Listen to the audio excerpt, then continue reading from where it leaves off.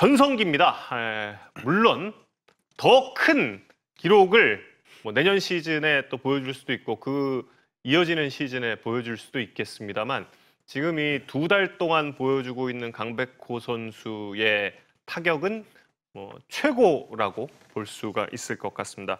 현재 리그 타격 그리고 최다 안타, 타점, 출루율 부문에 1위에 올라 있습니다. 이 기록이 어, 지난 이틀 동안에 안타를 때리지 못하고도 지금 이 기록을 예, 보여주고 있습니다. 강백호 선수의 올 시즌 활약 어떻게 보시나요? 두 분 모두 좀 부탁드리겠습니다. 저는 일단 강백호 선수 어, 예전 그 두산 베어스의 김동주 선수가 좀 생각이 많이 나거든요. 음, 어, 저는 김동주 선수의 가장 장점은 삼진을 본인이 허용을 할 때까지 1구부터 삼진 허용하는 그 구종까지 모든 그 구종의 스윙을 돌릴 때 풀스윙이었어요. 근데 강백호 선수가 최근에 보면 타석에서 거의 풀스윙을 돌리고 있거든요. 네. 물론 수비 shift 자체가 옮겨지고 있지만 그래도 밀어치는 것 자체만으로도 본인이 만들어서 칠 줄 아는 그런 강한 스윙을 가져가고 있고 지금도 보시면 contact을 하잖아요. contact을 하는 과정에서도 풀스윙을 돌리고 있거든요. 근데 어. contact에서는 몸이 정, 정확하게 서 있는 상태에서의 풀스윙이 아니라 중심이 무너져 있는 상태에서도 손목까지 감아서 칠 정도의 그런 풀스윙을 돌리고 있다는 게 강백호 선수의 전성기가 지금 전성기가 아니라 앞으로도 꾸준하게 전성기를 맞이할 선수가 유일하지 않나라는 생각을 굉장히 많이 해봅니다. 예. 아, 올 시즌 수비에 있어서의 가장 큰 화두가 바로 시프트입니다. 그런데 강백호 선수는 그 시프트를 뚫어내는 능력을 보여주고 있습니다. 바로 타구 분포를 통해서도 확인을 할 수가 있는데요. 강백호 선수의 타구 분포가 오히려 왼쪽이 더 많아요.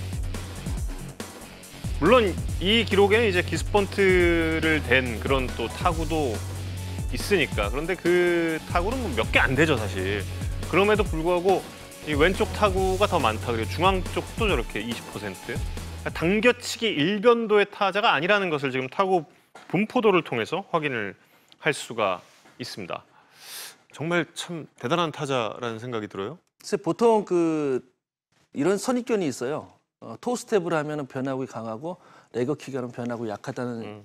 그런 그 선입견이 있는데 그건 회전축에 따라서 달라지거든요. 네. 강백호 선수는 레거킥이 국내에서 가장 큰 선수이지만 어, 축적의 회전을 하는 선수예요. 그리고 변화구를 저렇게 기다렸다 치거든요.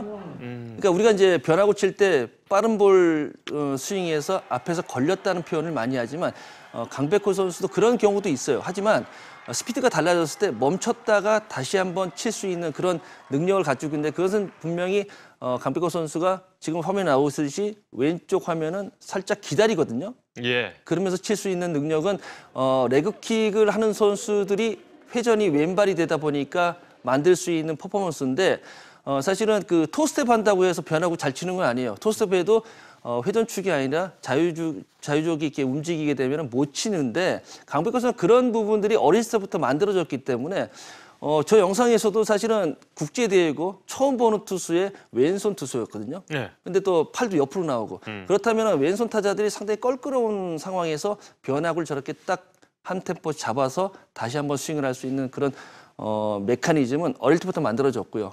어릴 때부터 만들어지다 보니까 그 리그에서 항상 전성기를 이루는 그런 선수죠. 예.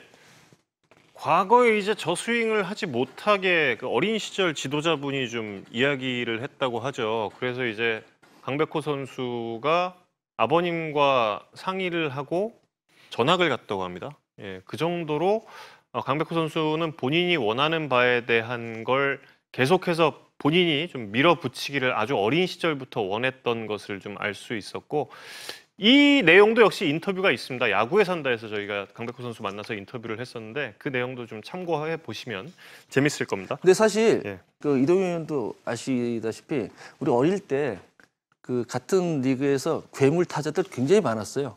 예. 예, 정말 괴물 타자들 많았는데 지도자들이 너는 힘이 좋으니까 컨택만 해도 다른 선수보다 또 잘 칠 수 있다. 그래서 자꾸 스윙이 작아지거든요. 아하. 근데 강백호 선수는 저 어린 나이에 그걸 극복을 했어요. 그렇죠. 근데 대부분 극복 못하고 어, 사라지는 선수가 많은데 저는 그 부분이 아, 역시 난 선수다라는 음.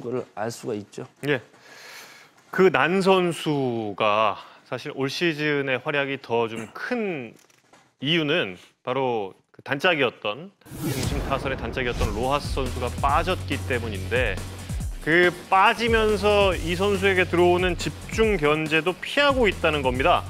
이강철 감독은 강백호 선수에 대해서 이런 평가를 했습니다. two strike 전과 후 상황에서 공을 치는 게 다르다. 주자 유무에 따라서 풀 스윙과 contact 스윙을 다르게 가져가면서 상황 대처 능력이 아주 성숙해졌다고 평가를 했고요.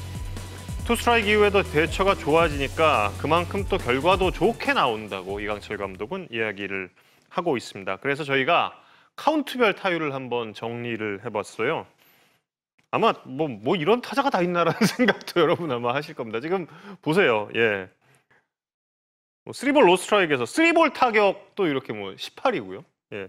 그리고 뭐 타자의 카운트에서는 대단합니다. 투볼 노 스트라이크에서는 8할이고 그리고 또 어, 쓰리볼 원 스트라이크에서는 4할 4푼 4할인데 지금 쓰리볼 투 스트라이크에서의 타율이 5할이 넘어요. 5할 2푼 4할이를 기록을 하고 있습니다. 그리고 노볼 투 스트라이크 상황에서도 5할.